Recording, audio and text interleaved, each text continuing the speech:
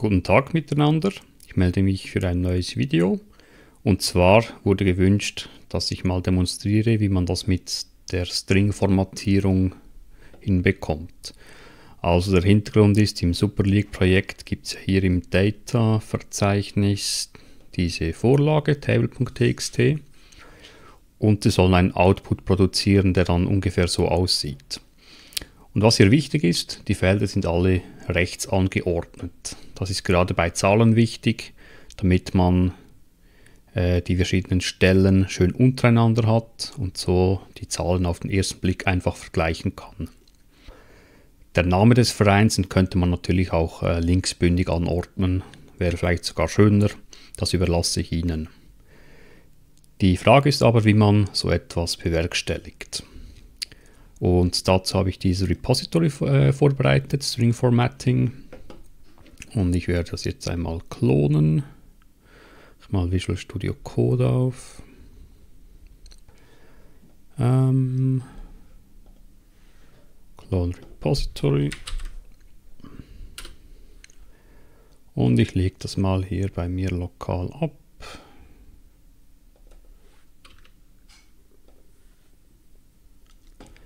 und öffne das gerade.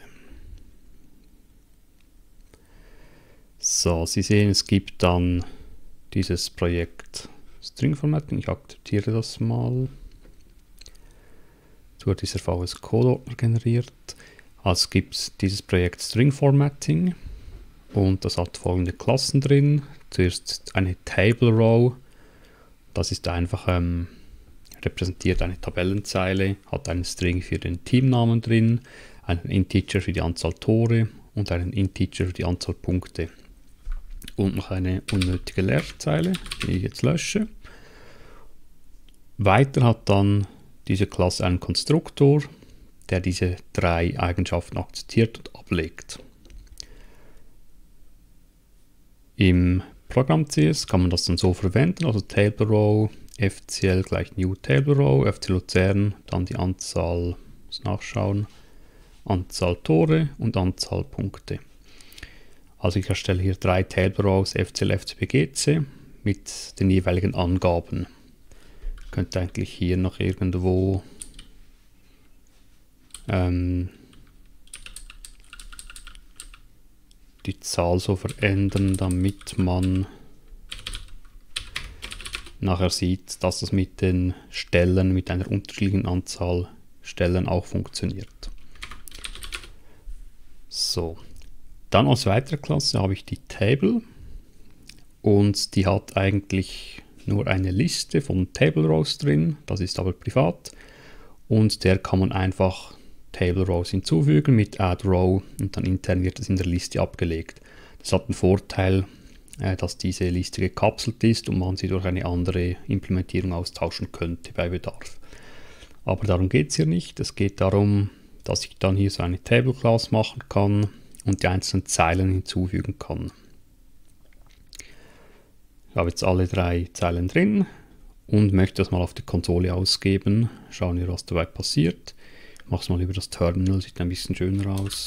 .NET Run Project String Formatting. So, und da kommt jetzt natürlich nichts Sinnvolles raus, sondern einfach String ist halt der Klassename, qualifizierte Klassenname mit dem Namespace. So, jetzt ist die Frage, wie kann ich aus dieser Datenstruktur einen Output erzeugen, der die Anforderungen erfüllt, punkto Formatierung und Ausrichtung. Am besten macht man das, indem man die ToString-Methode überschreibt. Also public override ToString wird mir schon vorgeschlagen. Ich return drücke, habe ich da schon eine Implementierung. Aber diese Implementierung nützt uns nichts. Dann geben wir einfach mal einen leeren String aus oder besser hello oder so etwas. Führen es erneut aus und sehen dann den Effekt, ja, es wird hello ausgegeben. Also das Programm gibt da die Table aus und dieser Output wird automatisch dann delegiert an die ToString-Methode und hier gebe ich halt Hello zurück. So, das Ganze wäre mal aufgesetzt. Jetzt wollen wir natürlich da nicht einfach Hello ausgeben, sondern etwas Sinnvolles. Wenn ich einen größeren String zurückgeben möchte, ist es oft sinnvoll, die nicht einfach mit Plus zu verketten, sondern es mit einem Stringwriter zu machen oder einem Stringbuilder. Weil ein Stringwriter nennt den Output, fange mit einem leeren an, könnte man auch etwas abkürzen mit aktuellen C-Sharp-Versionen. Äh, ähm, schauen wir mal, damit es funktioniert. Write line, ich schreibe eine Zeile hinein, schreibe wieder Hello und mache Return Output, rufe jetzt mal explizit toString aus, auf und lasse es wieder laufen. Hello mit einem Zeilenumbruch, weil ich WriteLine aufgerufen habe. Wunderbar. So, jetzt möchte ich eigentlich die richtige Tabelle ausgeben und ich schaue mal in die Table Row. Ich habe ein Team, Goals und Points. Also geben wir diese drei Spalten auch aus. Und statt Hello mache ich jetzt einfach mal Team, Goals und Points als Titelzeile. Dann kopiere ich das und ja, wir wollen noch eine Separatorzeile haben. Mache die mal gleich lang. Kann das also wieder ausgeben. Ja, funktioniert. Und jetzt kommen die einzelnen Zeilen. Ich habe die hier in Rows abgelegt und darum kann ich einfach über die iterieren. Table Row, Row in Rows. Und das mache ich jetzt mit jeder Zeile. Ähm, es gibt zwei Möglichkeiten.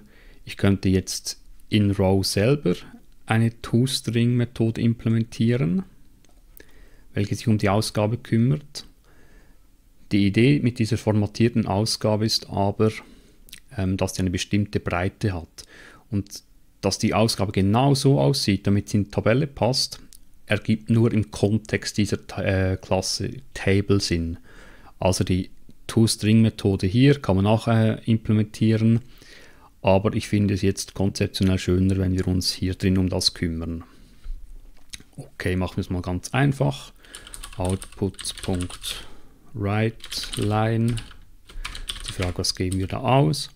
Und neuere Version von C-Sharp bieten ja diese äh, String-Interpolation, kann ich ein Dollarzeichen vorne hinschreiben und dann in geschweiften Klammern direkt meine Felder auswählen. Macht jeweils einen Space, row.goals, row.points.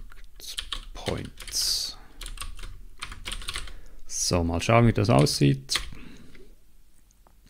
Es funktioniert technisch, sieht natürlich nicht schön aus, weil ich ja ganz unterschiedliche Längen der Vereinsnamen haben, habe und darum die Goals und Points ja nicht schön ausgerichtet sind. So, wie löse ich jetzt dieses Problem? Dazu gibt es ähm, zwei Mechanismen. Ich gehe mal in den Browser zurück. Einerseits das sogenannte Composite Formatting. Äh, dabei kann ich äh, mehrere Felder, also mehrere Variablen angeben, die ausgegeben werden sollen und vorne einen Formatstring, wo ich äh, die mit einem nullbasierten Index referenziere. Dann habe ich einen Doppelpunkt und kann hinten noch äh, Formatangaben machen. Hier ist das mit dem Index erklärt und hier Alignment äh, kann ich nach einem Komma kann ich mit minus 20 oder mit positiven Zahlen, hier 5, kann ich Sachen links- und rechtsbündig ausgeben. Also mit Minus linksbündig, mit, also ohne Vorzeichen rechtsbündig. Hier wieder die Indizes. Das ist die eine Variante. Die zweite Variante ist zusammen mit String Interpolation, also mit diesem Dollarzeichen, ähm, muss ich nicht so mit dem Index referenzieren, ich kann es direkt reinschreiben und dann hinten nach einem Komma kann ich dann auch wieder diese Angaben machen. Also hier mit String Interpolation ist dieser Mechanismus eigentlich auch integriert. Ich verlinke dann diese Artikel, können Sie das in Ruhe anschauen, aber so viel muss man da gar nicht wissen. Ähm, ich fange jetzt einfach mal an, das umzusetzen. Also fangen wir vielleicht hier unten an. Jetzt haben wir gesehen, das Team ist ja recht lange. Äh, ich zähle jetzt nicht die Zeichen, aber ich glaube, Grasshopper Club Zürich ist der längste String, also der längste Teamname, den ich habe. Und wollen wir den mal links anordnen, mache einfach hier das Komma und dann sage ich Minus für links angeordnet und nehmen wir mal 30 Zeichen.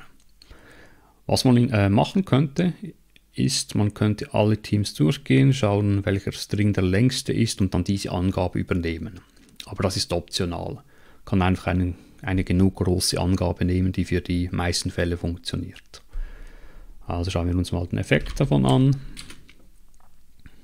Jetzt habe ich hier wunderbar links angeordnet und 30 Zeichen wird gesperrt und dann geht es weiter mit der nächsten Angabe. Hat geklappt. Jetzt überlegen wir, ob wir das oben hier auch machen können, damit Goals und Points entsprechend nach rechts geschoben wird. Also hier haben wir keine String-Interpolation, sondern hier können wir das machen, einen anderen Mechanismus, das Composite Formatting, wo wir einfach die Strings, die wir tatsächlich ausgeben, hinten als Parameter mitgeben und vorne mit dem nullbasierten Index referenzieren. Okay, also jetzt ersetzen wir mal Team, schieben wir hier als Parameter nach hinten und sagen hier der erste Parameter mit Index 0 natürlich und dann mache ich auch minus 30. Schauen wir, ob das klappt. Hat wunderbar geklappt. Jetzt habe ich Teams alle schön untereinander natürlich, weil es am Anfang ist und alles, was dann folgt, schön nach hinten geschoben. Also das hat geklappt. Machen wir bei den Goals weiter. Jetzt ist die Frage, ähm, ja hier, ob man das so ausführlich hinschreiben muss mit 1, 2, 3, 4, 5 Buchstaben. Man könnte da vielleicht G schreiben oder äh, habe glaube Plus verwendet in der Table. Aber lassen wir es mal so. Und jetzt wollen wir das rechtsbündig anordnen, das heißt kein Minus. Die Frage ist, wie viele Stellen? Nehmen wir mal 5, weil Goals auch 5 Stellen hat. Ist natürlich keine fünfstelligen Zahlen hier geben, aber wir orientieren uns an der Titelzeile.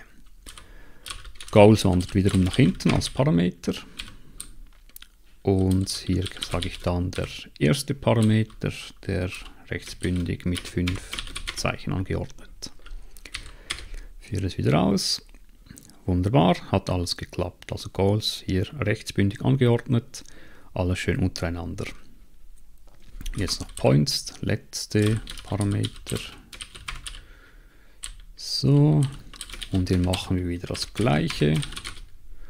Und unten ebenfalls wieder mit 5. Ah, Moment, 1, 2, 3, 4, 5, 6. Nein, Points ist 6 Zeichen lang, darum nehme ich hier mal 6 und hier ebenfalls. Schauen wir, ob das funktioniert. Oh. Referenziere hier wieder Goals statt Points. Müsste hier das 2 nehmen. Dann sollte es klappen. Wunderbar, hat geklappt. Jetzt sehe ich auch hier Points. Hier hat es äh, nur eine einstellige Zahl. Wird auch schön rechtsbündig angeordnet. Und alle Spalten sind wunderbar untereinander. Den Separator String müsste ich vielleicht noch ein bisschen länger machen. Äh, vielleicht gibt es auch schönere Varianten, den aufzubauen, aber das ist nur ein Detail. Muss nur eine optische Separation bestehen und dann bin ich eigentlich schon zufrieden. Ja, so kann man den String formatieren bzw. eine Tabelle ausgeben mit Spalten. Und ich möchte Ihnen das gerne zur Verfügung stellen. String Formatting implemented toString method for nice table outputs. So, dann haben Sie das zur Verfügung und können das mal entsprechend ausprobieren. String Formatting, Table. Hier ist alles, was Sie wissen müssen. Ich denke, die anderen Tabellenspalten finden Sie dann selber heraus. Besten Dank für die Aufmerksamkeit und bis bald.